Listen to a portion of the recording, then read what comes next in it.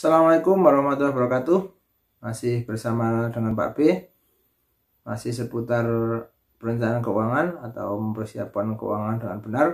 Pada mengatakan orang financial planning ya, Seperti itu ya. Belajar yang sederhana Dengan tagline Wujudkan hidup sejahtera Dengan perencanaan keuangan yang benar. Tagline adalah Wujudkan hidup sejahtera dengan perencanaan keuangan yang benar lagi sering Pak B ulang-ulang sejahtera itu adalah hidup yang seimbang yang antara pendapatan dan pengeluaran jauh lebih besar pendapatannya sehingga bisa ditabung untuk investasi bisa untuk kehidupan operasional bisa untuk dana darurat bisa untuk refreshing bisa juga untuk apa namanya eh, hal-hal yang bersifat sosial maupun keagamaan oke okay? Uh, kali ini Pak akan sharing tentang punya ciri-ciri ini siap-siap Anda akan sukses. Jadi ada 10 ciri ketika Anda punya ciri ini Anda akan sukses. Oke. Jangan lupa tonton videonya sampai selesai. Jangan kasih like, subscribe dan komen untuk mendapatkan konten-konten yang positif yaitu tekan lonceng yang ada di belah bawah. Oke, mari kita mulai. Yaitu satu adalah jadi kalau Anda punya ciri-ciri ini ada 10 ciri ini silahkan nanti Anda akan menjadi orang yang sukses. Mari kita apakah punya ciri atau tidak. Kita lihat satu persatu. Oke, satu berani menghadapi resiko. Pertanyaan Pak Bela, apakah Anda berani menghadapi resiko? Resiko orang wirausaha ada dua, gagal dan sukses. Nah, berani menghadapi resiko dengan perencanaan yang matang dengan perhitungan yang matang itu yang bagus. Jangan sampai berani menghadapi tapi tanpa perhitungan tanpa babi bu. Jadi berani babi ya ya. Berani yang tidak ada hitungannya itu tidak bagus. Jadi berani yang menghadapi setelah semuanya di analisis semuanya dipersiapkan nah, hadapi resiko apa pun yang terjadi yang kedua, bisa menganalisa dengan baik. Nah, tadi itu dengan menganalisa dengan baik. Kalau saya berbuat ini, nanti akibatnya ini. Saya berbuat ini, akibatnya ini. Kalau nggak berbuat ini, akibatnya seperti ini. Nggak berbuat ini, akibatnya seperti ini. Kalau saya nggak berbis, nggak akan sukses. Kalau saya hanya karyawan saja, nggak akan kaya. Dan terus-menerus itu di analisa secara pribadi. Karena masing orang-orang punya style masing-masing. Karena ada orang yang memang betul-betul konsen di bidang pekerjaannya sehingga sampai level puncak. Itu juga sukses juga. Ada juga yang bisa membagi dua, jadi bisa bekerja, bisa jadi apa usaha. Jadi setengah karyawan dan setengah bos. Nanti akan Pak bebas di lain kesempatan. Jadi, setengah karyawan, setengah bos. Kalau pagi sampai sore atau sampai siang itu jadi karyawan full. Nanti begitu sudah jadi karyawan, jadi bos bisa usaha, bisa juga jual beli dan sebagainya. Yang ketiga tidak menolak kritik dari orang lain yang sifatnya membangun, bukan menjelekkan, bukan menjatuhkan. Kritik karena kita selama ini adalah anti kritik. Semua kritik itu menjadikan tidak baik bukan kalau kritik itu membangun justru bagus. Kritik yang konstruktif agar kita nanti dalam perjalanannya itu berhati-hati. Kritik yang konstruktif kritik yang membangun, kritik yang membuat kemajuan sebuah proyek, sebuah proses, sebuah perjalanan hidup kita adalah kritik kritik yang konstruktif atau yang membangun.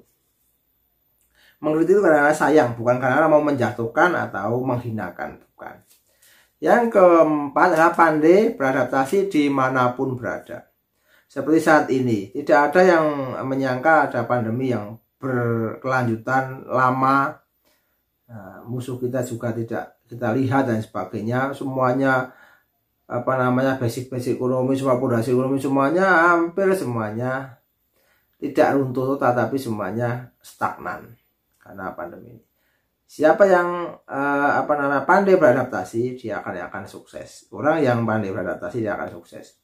Sama dengan kehidupan kita. Kenapa dinosaurus dan teman-temannya tidak sukses? Karena tidak bisa beradaptasi. Kucing bisa beradaptasi zaman dulu Nabi sampai hari ini masih ada karena bisa berada sampai hari ini pun kan kucing dulu makannya misalnya cuma daging atau ikan sekarang makan apa aja mau kerupuk tuyan nasi juga tuyan makan apa pun tuyan oke ya Jadi kalau manusia yaitu pandai beradaptasi di mana pun dan kapan pun berada. Yang kelima, menghindari punya hutang konsumtif. Nah, ini jangan sampai kita mau sukses tapi hutangnya banyak. Kita punya pengusaha tapi hutangnya banyak. Jangan sampai nah, terutama hutang konsumtif, hutang untuk keinginan, hutang untuk pamer, hutang untuk gaya, hutang untuk agar kita kelihatan kaya. Jangan stop.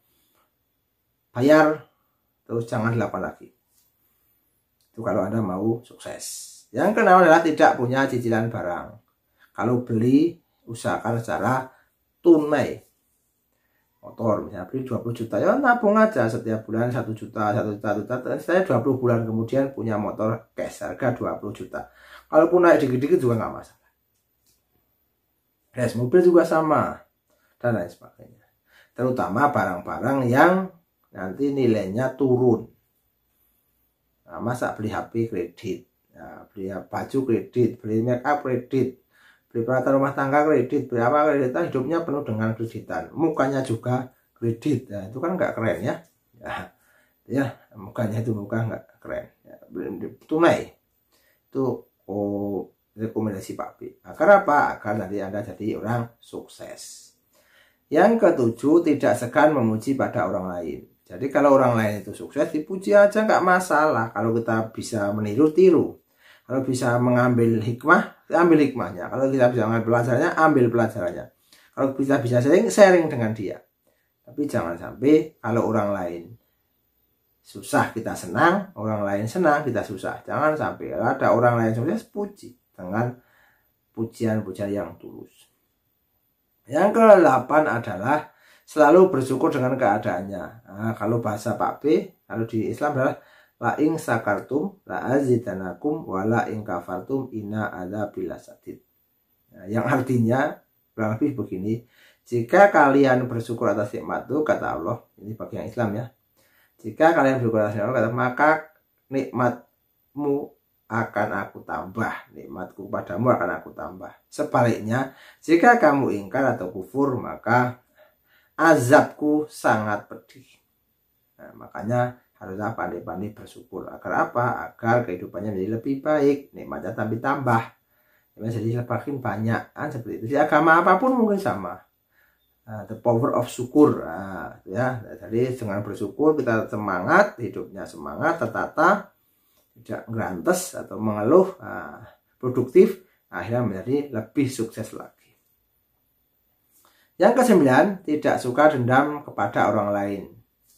Marah boleh nggak? Boleh. Misalnya dikatakan orang kan marah se, marah secepatnya untuk berhenti. Nah, jadi orang yang adalah mudah yang baik adalah orang yang tidak mudah marah tapi begitu marah cepat berhenti cepat memaafkan cepat tidak kalau misalnya ada apa namanya yang negatif negatif cepat dihilangkan agar apa agar otak kita itu isinya positif semua positif untuk kehidupan yang akan datang masa yang lebih bagus masa yang lebih tenang masa yang lebih sejahtera.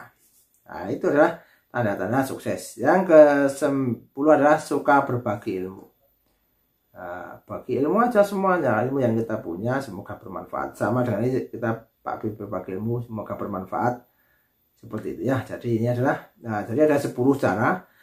Yang pertama adalah berani menanggung resiko, yang kedua bisa mengalih dengan baik, tidak menolak kritik dan saran, pandai beradaptasi, menghindari punya utang, tidak punya cicilan barang, tidak sedang memuji, selalu bersyukur, tidak suka dendam dan suka berbagi.